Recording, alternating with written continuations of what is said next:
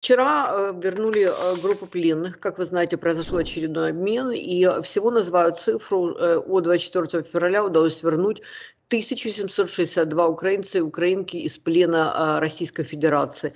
Сколько, вообще как происходят эти обмены и а, насколько эффективно работает украинская сторона с вашей точки зрения, и сколько еще там плюс-минус людей может быть в плену Российской Федерации? А, как только с, тема, с темы обмена пленными э, были сброшены или сами ушли, не, я не знаю причины, но, по крайней мере, э, как бабка пошептала через определенное время, и э, эту э, тему передали военной разведке, и с нее ушли политики. Вот после этого начал, начался реальный обмен пленными. обмен пленными происходит довольно-таки по, по простой процедуре. Есть определенные контакты между разведками – Э, военными разведками обоих, э, любых двух противоборствующих сторон. Есть военные контакты, по этим военным контактам идет, идет обмен один на один.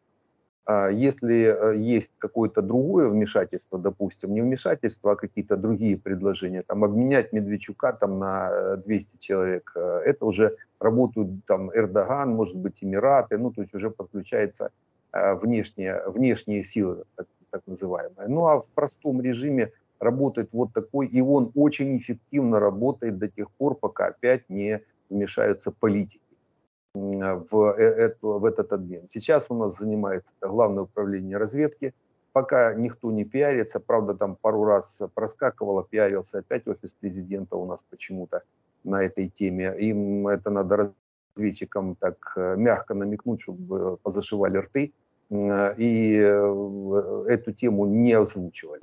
Занимается военная разведка, вот пусть занимается. Для нас, для нас э, важны цифры. Каждый раз вот цифры. 100 человек, 150 человек, 10 человек, 1 человек. То есть э, нужны, важны цифры, те, которые мы забираем. Сколько мы отдаем, чего мы отдаем за это, это вообще уже не важно. То есть мы забираем своих людей – Э, наши люди живыми возвращаются в свои семьи, возвращаются на наш дом. Это самое главное. Это правда. А в связи с делом Киреева возник вопрос, знаете, интересный. А Михаил Подоляк сказал, что э, так, с Киреевым так случилось, потому что не было нормального контакта между э, разведкой и СБУ. С другой стороны, э, там некоторые эксперты говорят, что э, ну, когда речь идет о делах особой секретности, об особо важных э, агентах, такого контакта не может быть, потому что, ну вот, как известно, очень много русских агентов везде, и поэтому такие дела лучше держать в секрете. Как вообще, в принципе, даже дело тут не в Кирееве, это я просто как пример привела, как вообще происходит вот этот контакт и по каким, так сказать, эм, по каким направлениям? Э, разведка, Министерство обороны, э, там, я не знаю, СБУ и другие ведомства, которые причастны? Есть два режима. Есть режим мирного времени режим военного.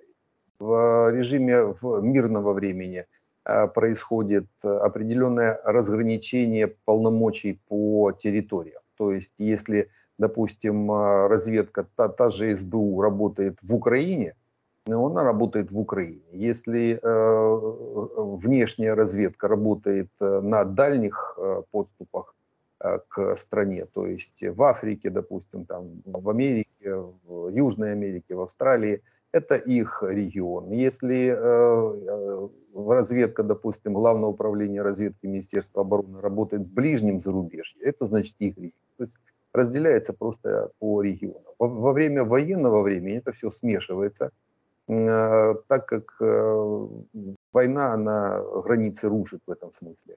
Но во время военного времени организуется э, площадка, называется наставка Верховного Главнокомандующего. Вот э, ставка это, можно сказать, большой стол, за которым собираются так называемый оперативный штаб, за которым собираются руководители всех ведомств, и они уже, э, исходя из необходимости, разграничивают эти э, рубежи.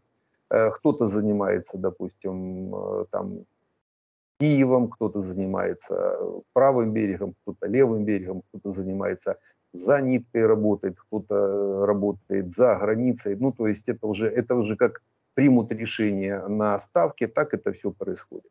беда случилась из-за того, что системная ошибка. Не было введено военное положение в 2014 году. То есть э, введение военного положения 24-25 числа, это, естественно, был, э, это, это слишком поздно.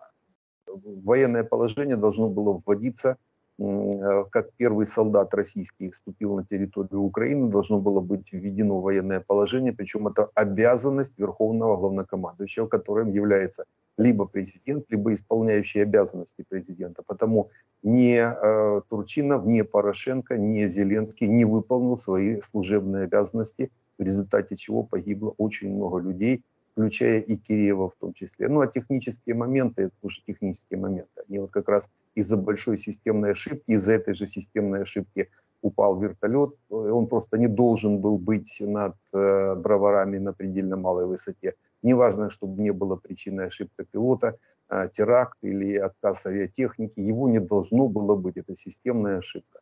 И вот этих системных ошибок очень много. Системная ошибка, еще раз повторюсь, отсутствие военного положения а, тогда, когда страна уже 8 лет воевала с Россией на Донбассе и в Крыму.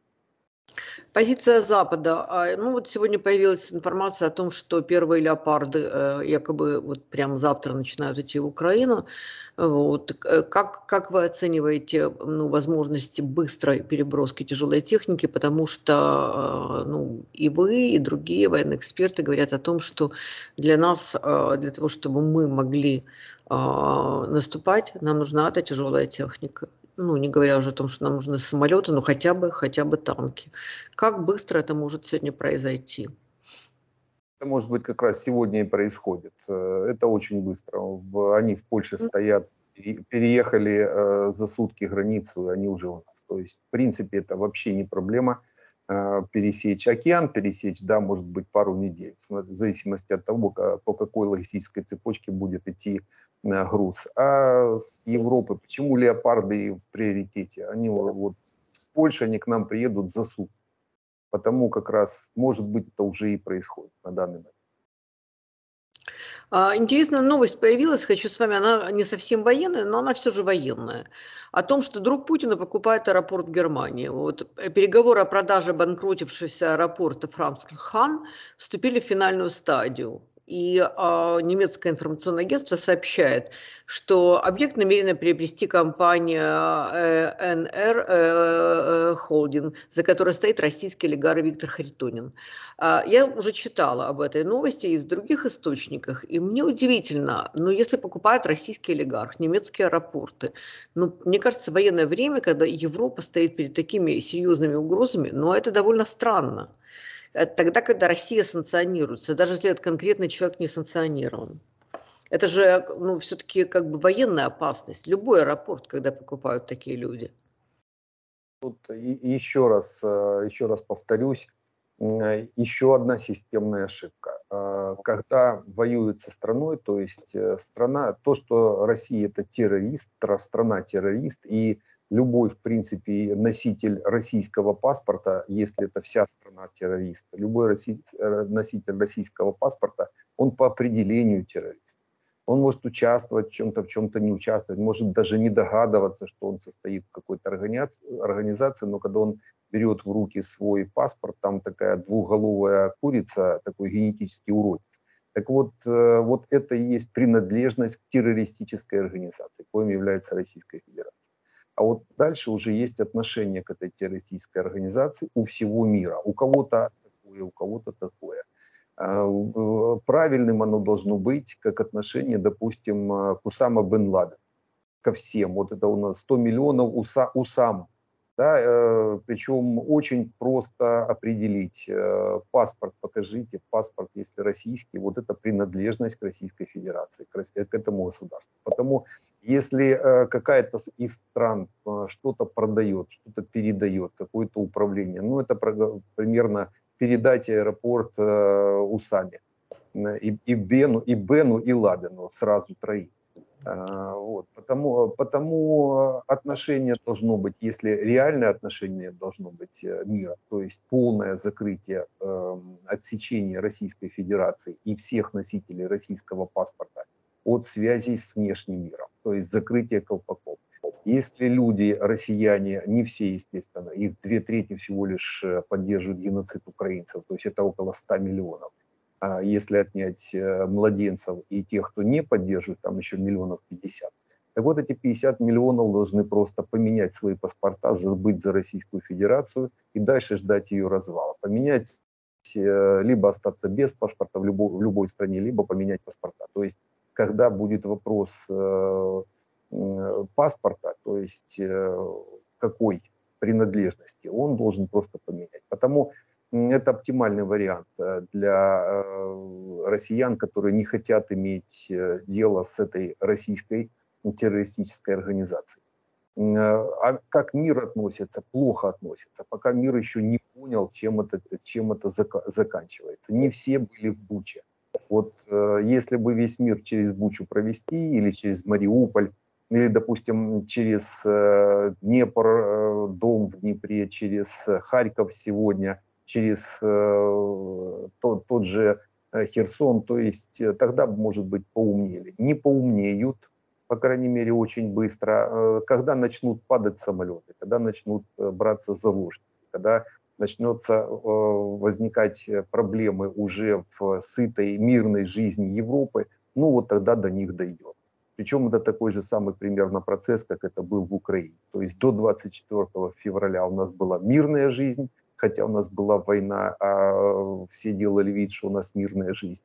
Но только после того, как 100 тысяч человек покинуло этот мир, украинцев, э, гражданских причем, вот только после этого э, дошло до всех остальных, что все-таки э, жизнь мир. Потому здесь мы, наверное, э, ничего не, сделаем, то есть э, пока эта террористическая организация не проявляет себя уже там, где она, э, куда она пустила свои щупальца.